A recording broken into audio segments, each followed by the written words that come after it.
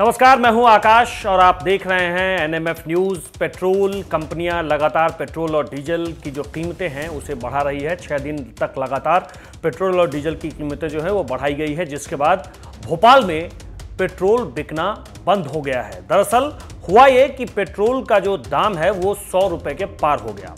अब बंद क्यों हुआ? बंद इसलिए नहीं हुआ कि पेट्रोल का दाम बहुत ज़्यादा हो गया।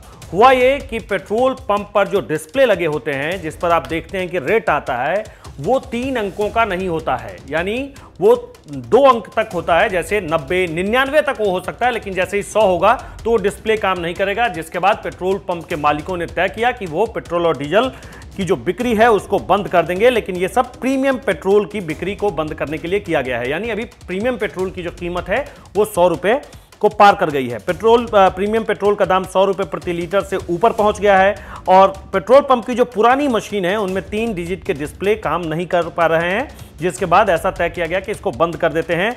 अगर सादा पेट्रोल का दाम भी सौ रुपये लीटर तक पहुँच गया तो कई पेट्रोल पंप बिक्री इसकी जो है वो बंद कर देंगे।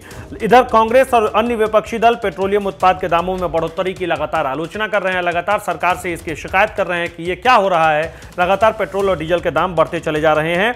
आ, सरकार से इन पर में तत्काल इसको कम करने की वो लोग मांग मांग कर रहे हैं और कह रहे हैं कि किसी भी तरीके से पेट्रोल और डीजल की जो कीमतें हैं वो कम हो जाए।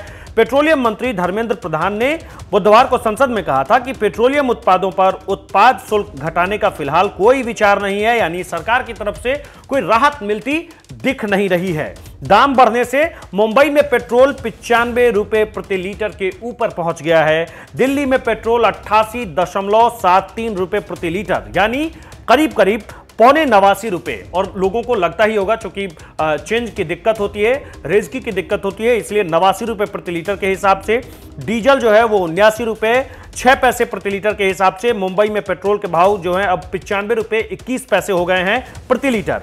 और छियासी रुपए चेन्नई में जो है वो नब्बे रुपए छियानवे पैसे प्रति लीटर पहुँच गए हैं। कोलकाता में नब्बे रुपए एक पैसे प्रति लीटर और डीजल बयासी रुपए पैंसठ पैसे प्रति लीटर के हिसाब से बिक रहा है। दिल्ली में अगर पेट्रोल की कीमतें सौ रुपए या इससे ऊपर पहुँचती है तो क्या लोगों को पेट्रोल मिलने में कोई परेशानी होगी?